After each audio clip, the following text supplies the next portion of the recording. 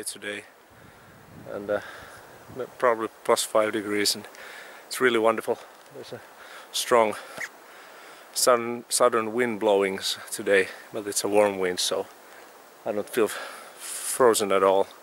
Uh, one thing I enjoy going out this time of year in spring is to have a look and see what kind of animals are moving around and uh, right now I'm in the middle of a of a moose feeding ground. See I'm surrounded by young growth pine and that's what they like to chew on during winter. And uh, here's another indicator of indication of moose. As you can see here, there are a lot of uh, a lot of moose spilling or so they and tracks all over the place. So that's moose droppings right there. They're reasonably fresh. So if I'm lucky I might see one or two during this trip. They're not that hard to spot really, but you just have to uh, take it easy and, and uh, be mindful of not making too much noise. And,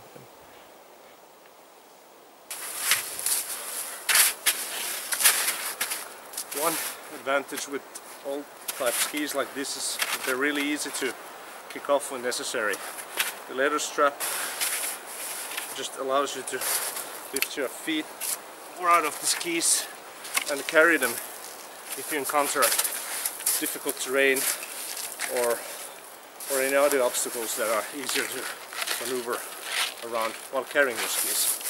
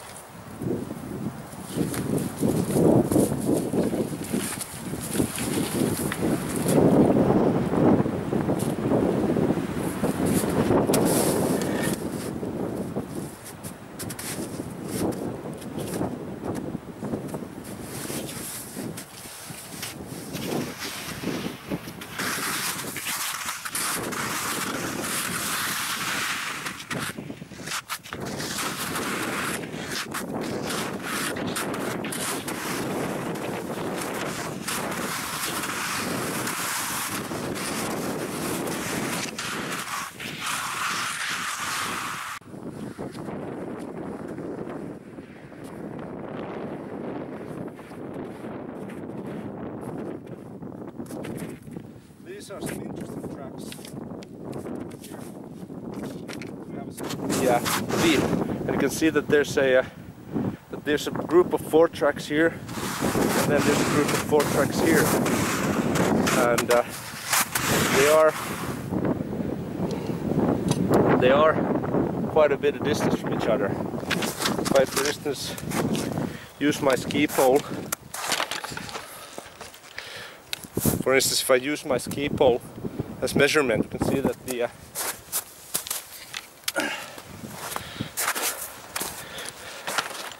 there's quite a bit of leap there. See, quite a bit of leap, and uh, no way a dog would make a leap like that. Uh, not even a wolf could leap like that way, that way when it runs. This is most definitely a lynx, and you can also see that the uh, strides here, stride marks here. Look at it. Yeah.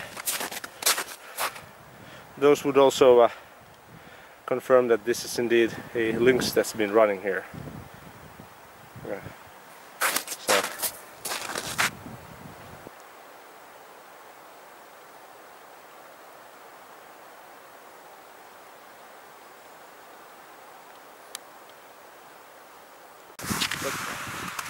The snow is melting rapidly but no, it's still good skiing because the snow is compressed and it does freeze during the night because it goes down to minus during the night also so you so you the snow really carries you well across open fields like this. Also you, see what tracks animals are made and, kind of get a good picture of what kind of animals are moving about in these forests here and, and that's always interesting to We also, uh, besides lynx, we also do know that there are wolves and bears that are uh, occasionally seen in this area, but I haven't seen an indication of all bear tracks yet.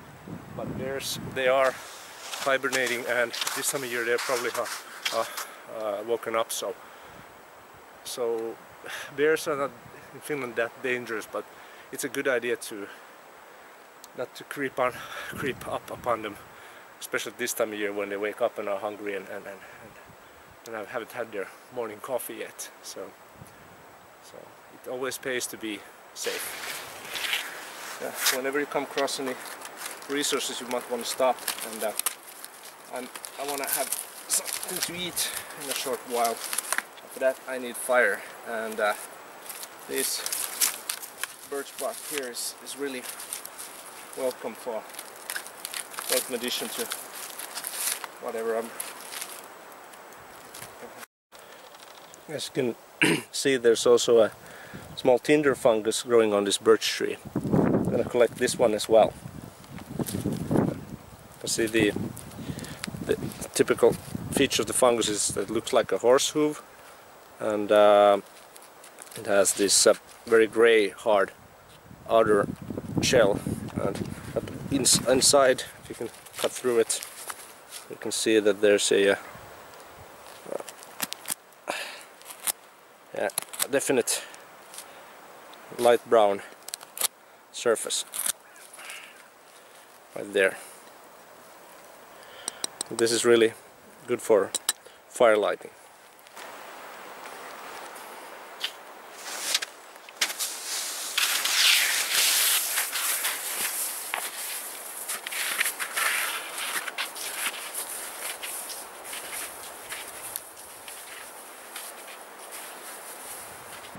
No, I'm about to set up my fireplace and I've coming up into this forest here which you can see it, that it's a managed forest. There's been some uh, cleaning and cutting done here so so I'll find most things I'll need to make a fire right here so that's why I chose to to, to make my camp here.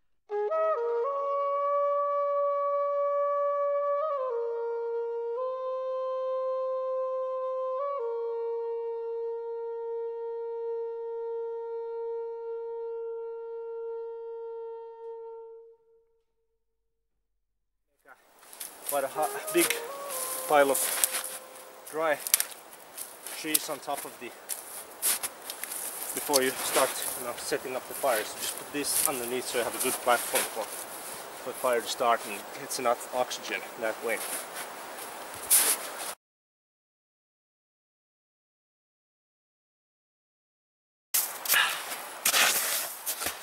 I want to try something different today, uh, so I brought along my my old fire starting kit. Uh, this is a, a uh, type of a, a fire starting uh, pouch which is uh, based on models we were, that were in use in this region just maybe in the 1900s latest, the early 1900s. So it's a very practical pouch to be carrying.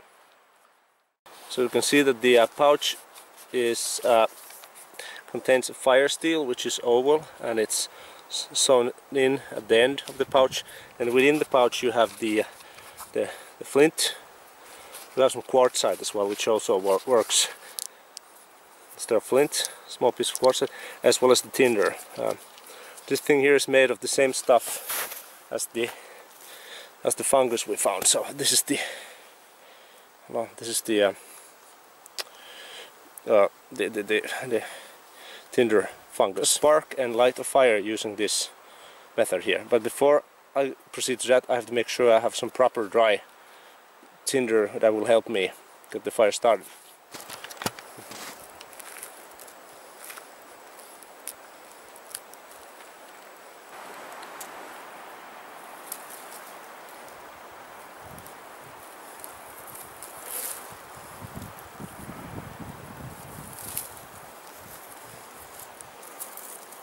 So here we have the the lichen and underneath we have the sap and the birch bark. So what I'm going to do is I'm going to combine this into a nice bundle and hopefully we'll get the fire going using this old technique.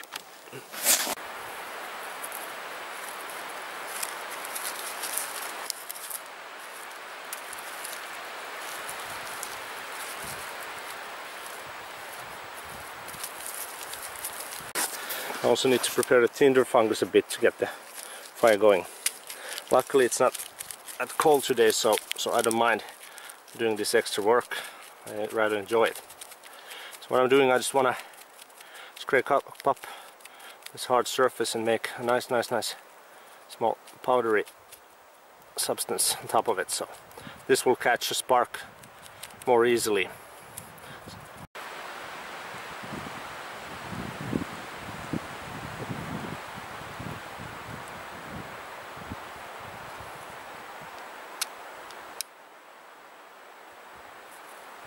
Oh yeah.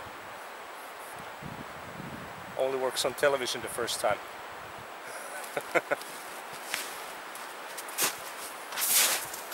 so see, I wasn't cheating. see it really see it really has a nice glow on it.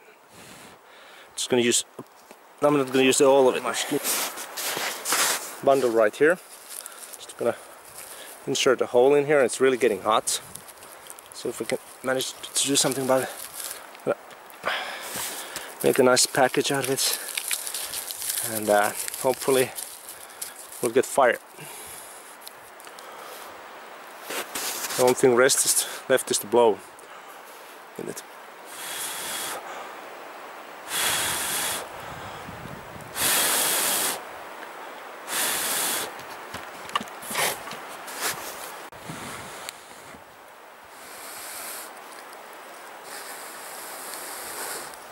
We got a flame.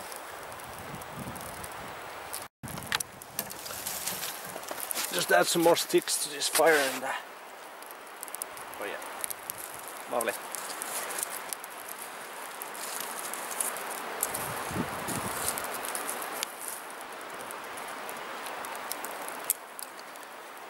Just lay it over easy, we don't want to kill the fire.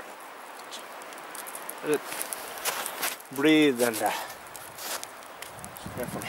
And then at this point you might want to put away the gear so you don't lose it.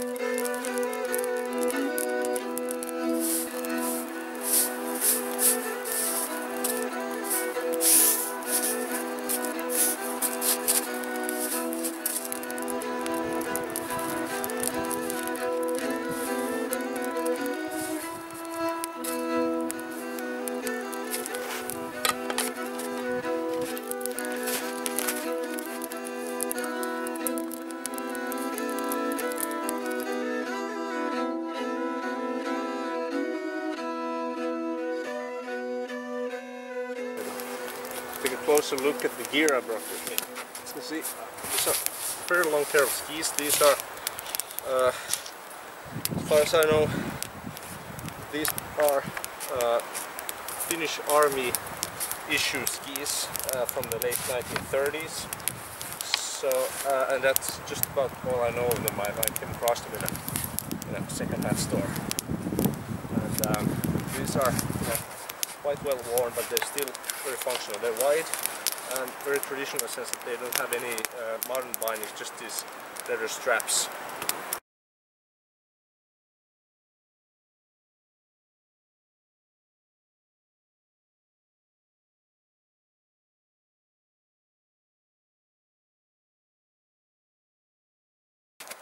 The uh, this is the center part of the skis where the foot will go and as you can see somebody added a uh, piece of, of bicycle tire cut piece of bicycle tire on top of it uh, because bicycle tire as it's rubber it doesn't become as slippery as most other materials become uh, when, when it gets uh, snowy and icy. Uh, traditionally people would just use birch bark or, or maybe uh, skin of an hide of an animal instead of this. And here's the leather strap. You see there's a small slot is cut straight through the uh, ski and its leather strap is inserted through that. And it's a very simple design. As you can see there's the uh, shoe. You can say this shoe this you can actually buy these new even today. There is a manufacturer here in Ostrobothnia who makes these shoes uh, a modern version of it, the rubber sole. And uh, you know they're you know they do cost a little bit but but then again they are very unique and and very practical. And I always use them in winter because they, they're a traditional Finnish winter shoe called Pieksu Pieksa and uh, as you can see there's the strap. And the whole idea with this pointy end is that it'll fit underneath straps like this really easily as you can see. Keep in mind because this is a very primitive form of binding then it's also a very loose binding so you have to have a certain technique when skiing with this. So it's not not really uh, something uh, you should try first time. If you ever ever tried skiing before then you should should probably not try this method to begin with because it's a very uh, it, it, has some difficulties to it. But but once you get used to it then then then you'll be able to ski just about anywhere. um, one other interesting feature about these shoes is that the strap on this is, is made out of wool. It's, it's, braided wool and, and wool is important to use because wool has the ability of not freezing up and becoming stiff like leather and other uh, ropes would become stiff if they they become wet and freeze. So wool will always remain pliable and it's really uh, soft, stretchy and comfortable. So and, when you tie this your pants on top of your shoes in this way you'll keep out all the snow so your foot will remain nice and dry inside the, uh, the, the, the boot or the shoe.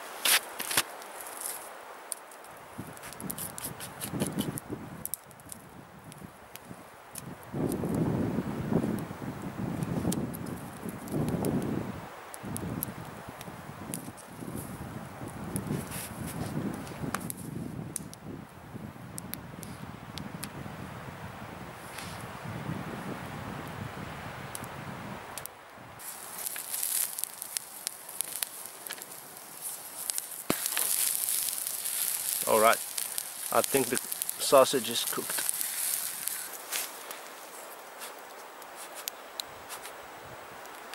Mm, mm, hot. Mm. Oh, it's really hot. Mm. Yummy.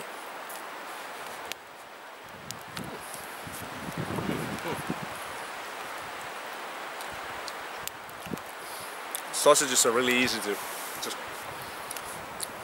keep in your refrigerator and just grab a package whenever you're going out. And they're fun too and easy just to barbie over a open fire.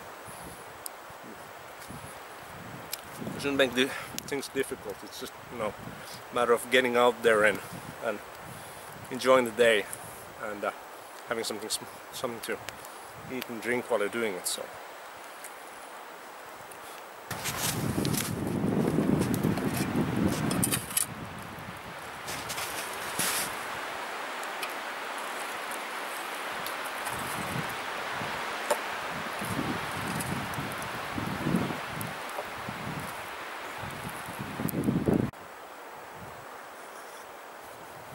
another crucial piece of equipment you need to bring to any day hike is a roll of toilet paper.